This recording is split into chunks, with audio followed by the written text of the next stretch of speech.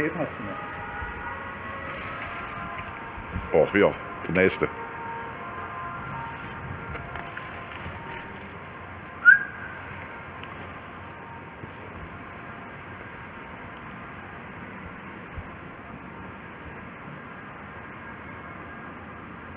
Mamma mia.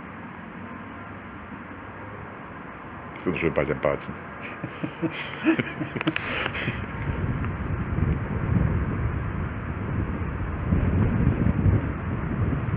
Äh, Vorbildrolle der Lehrer in Ihrer Grundschule, können Sie sich da noch erinnern? Naja, wie das immer so ist, man, die ersten Lehrer, die ersten, ich bin ja in Berlin in die Schule gekommen, eingeschult worden. Die erste Lehrerin, die vergesse ich bis heute nicht.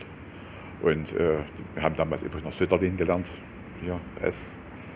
Und äh, die, die Lehrerin habe ich natürlich noch in guter Erinnerung, aber auch in Weinböller hatte ich eine Lehrer Heinze, der mir einen guten Eindruck hinterlassen hat bis heute. Das sind super Leitfiguren gewesen. Und worin bestanden das Leitbild?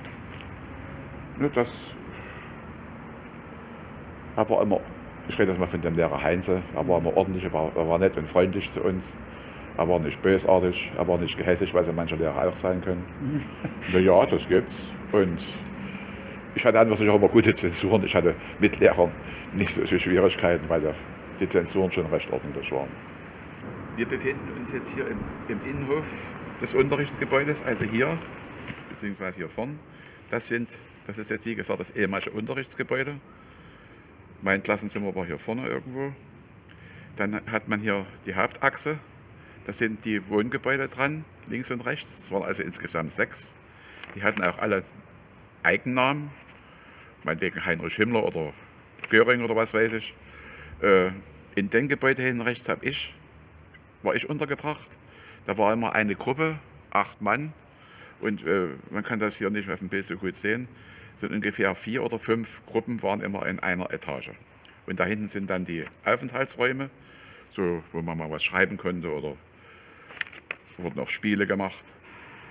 Das hier hinten, das ist äh, der Speisesaal gewesen, wo wir dann also Mittag, Frühstück, Mittag und Abendbrot eingenommen haben. Hinten ist der Sportplatz, war ein schön- schöner großer Sportplatz. Das ist die Turnhalle. Und hier, wenn ich mich richtig entsinnen kann, das waren äh, Unterkünfte für, für die Lehrer. Hier, die also mit dem Internat untergebracht waren. Und in jedem Gebäude waren, waren auch die Sanitärräume mit drin, Baderäume und, und so ähnlich. Ich muss noch mal erwähnen, dass wir äh, uns die ganze Woche kalt waschen und baden konnten oder mussten. Nur am Wochenende gab es warmes Wasser.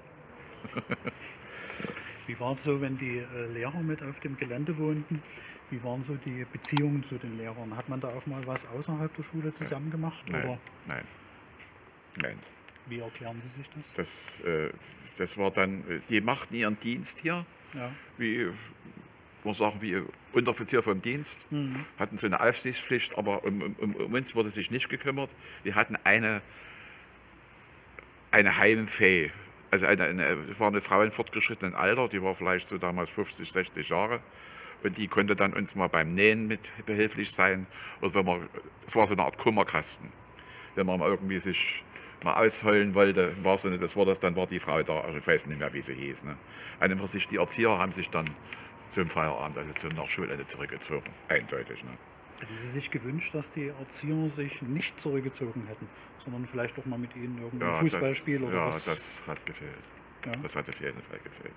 Das ist dann das, wenn man dann merkt, man ist im Internat und ist eine Kadettenanstalt, es ist im Prinzip unpersönlich. Mhm. Ne, das, wo man dann sagt, ich bin froh, dass ich mal nach Hause fahren kann und wo ich genauso gesagt habe, wenn ich mit der Straßenbahn wieder hochkam, ich fahre heute nicht gerne wieder her. Das ist das Unpersönliche. Das war auf jeden Fall da. Hier vorne war der Appellplatz vor der Schule. Da war dann, wie gesagt, zum Frühstück immer große Vergatterung.